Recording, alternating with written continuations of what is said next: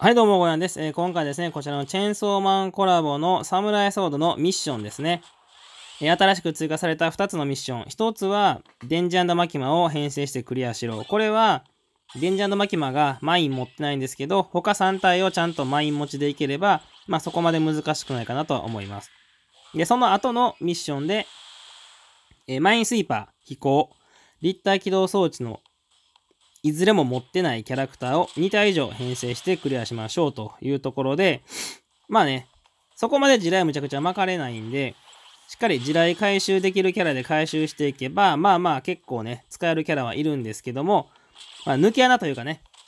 えー裏技というかね、もう知ってる方も多いと思うんですけども、コネクトスキル、これがマインスイーパーのキャラに関しては、マイン持ってない扱いになるので、まあ、今回ね、今僕が使ってるこのロキとか、えーまあ、要は重心化回しているキャラの中で、コネクトがマインスイーパーのキャラなので、このロキとか、あと、ゼウスとか、えーハーレー、あとまあちょっと微妙かもしれないですけど、ダリアとか。まあ、半属性なんでね、かなり厳しいと思うんですけども、まあ一応その辺が、まあコネクトのマイン持ちなので、手持ちにいれば使っていけるかなとは思います。で、僕はね、まあロキ2体でやってるんですけども、まあ正直ハーレーとかゼウスの方が強いかなとは思います。個人的にロキ結構好きなんでロキ使ってるだけなんですけど、まあミもね、全然好きとか言いながら厳選はしないんですけども、まあやっぱね、えー結局前に4体でいけるのがでかいですね。で、まああのこのね、強化っていう特殊な、えークエスト構成ですね。この緑のね、もやもやもやってしたのがついているやつ。こいつが、敵に攻撃いっぱい与えれますよっていう状態になるんですけど、ただ、その分、回復系を一切受け付けないっていう感じになるので、うまくね、その強化状態と強化じゃない状態のキャラを、それぞれ今どっちにした方がいいかなっていうのを考えながら進んでいく必要がある感じですね。今みたいな感じでね、底力発動しても強化がないとほとんどダメージが入らないので、攻撃するときは強化をした状態でいかないといけないんですけど、まあでも、全員が全員ね、その状態になってると、全く回復できなくなって、結構痛い攻撃飛んできてやられちゃうので、まあ非常にね、えー攻略するためのバランスが慣れてない方は難しいとは思うんですけども、まあ何回もやって慣れていくしかないかなとは思います。で、まあ、鎌足りがね、ちょっと強すぎるんで、鎌足り2体いれば、まあもうぶっちゃけ何でもいいと思うんですけど、まあでもまあまあ、とりあえずね、えーしっかりと強化状態と強化じゃない状態を使い分けていく感じで、このイカのやつね、えドクロマークといってるイカの敵を倒すと、えランダムで2体強化状態になりますよと。で、えここのバトルはいないですけども、カッチンを倒すと、全体回復してくれますよというところで、4体とも強化やと、回復出しても一切回復しないんで、その価値をね、倒すタイミングとかも重要なんですけど、まあ基本的に目安としては、強化状態は強化になってから2ターン後に勝手に自動回復するので、まあそのタイミングを見極めつつ、まあうまいことを味方に付与しつつ、味方に付与して自分は解除するみたいな状況が作れれば、まあ勝ち倒しても回復しつつ強化状態残したりもできますし、えーあとは、価値を倒してから、ちょっと時間差でイカとかを倒すと、回復した後に強化が降ってくるんで、まあそんな感じでね、うまく回復しながら攻めながらっていうのをやっていく感じですね。で、ここでね、この便利なんですよね。見れるようになったんで、強化してるかな、ロキーと思ったんですけど、強化してなくて、まあでも、まあまあ、一応ね、底力入ってるし、まあ半分ぐらいヒットポイント減ってたんで、挟まれば、まあまあなんとか、反射インぐらいやったら削れるなっていうところで挟まりに行ったのが今のシーン。で、このイカが、倒すタイミング結構重要なんですけど、このね、攻撃を食らっちゃうとかなりきつくなるんで、ヒットポイント減少攻撃してくるんで、必ずイカの攻撃は食らないように、残り1になったら、まあ最優先で倒していく感じですね。で、イカはね、まあ、強化状態じゃなくても全然、1、2回しばきは倒せるんで、強化状態だったらまあ1回ですね。でいけますんで、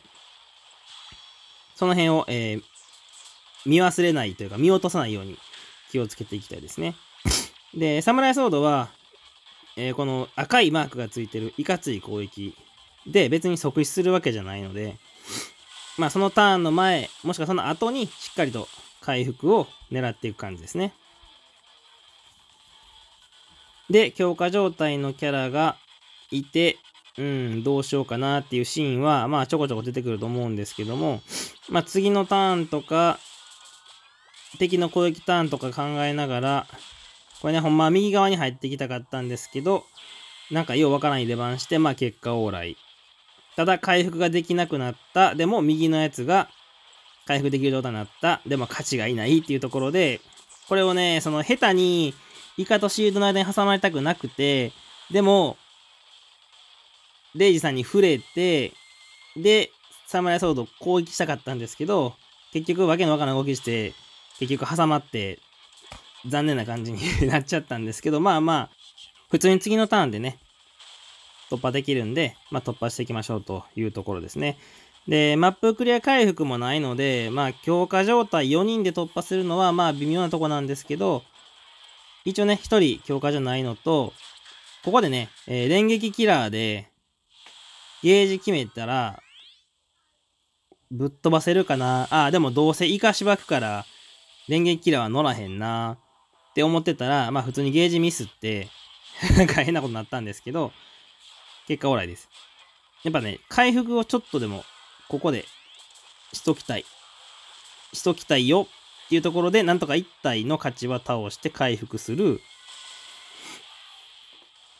で、えー、強化がね、解けてるキャラもいるので、回復をしつつ、強化状態を作りつつ、弱点が上来てくれたらありがたいよっていう場面で、弱点が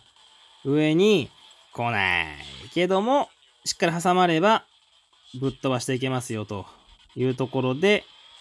全員 SS 残った状態でラスゲ来てるので、まあ、ここまで来ればね、もうほぼ勝ち確ですね。ほんまね、この蒲田比がマジ強いんで、で、あの、SS はね、もちろん強いんですけど、その、触れた敵をね、加速できる状態にするので、まあ、強化の状態じゃなくても、打っていって、なるべく多く触れたかったんですけど、結局中途半端に重なってしまって、あんまり攻撃できなかったんですけど、まあ、この後のね、ロキたちで暴れ回って、まあ、うまいこと挟まれたけども、このロキは結局強化できなかったんで、中途半端なダメージ。ですけど、次のロキでまあ、しっかり強化の状態で暴れれるんで、できるだけ雑魚を処理したい。まあ、なんならボス倒してもいいよぐらいの感じで暴れて、反射員はね、倒したかったんですけど、まあ、しょうがない。負けなければ OK。負けなければ OK。で、まあ、この SS で普通に倒しきれるかなっていうところで、まあ別に遅延かけてもよかったんですけど、次のターンでやられるわけじゃないし、SS 打たないとやっぱもったいないんで、まあ SS 打っていって、変なとこ挟まったんですけど、この追撃も強いんで、クリアという感じですね。まあ、貴族生2人はね、ゴリゴリ厳選してますけど、ロキはね、全然厳選しない状態でもこんだけ使えるんで、やっぱりね、コネクトキャラ使っていくのが安全かなとは思います。無事ね、ミッションクリアになりますので、えマインスイーパー、飛行、立体起動装置がスワビもしくはゲージについてないキャラ、コネクトなら OK ですよというところで、コネクトキャラだったら大丈夫です。最後までご視聴いただきありがとうございました。それでは、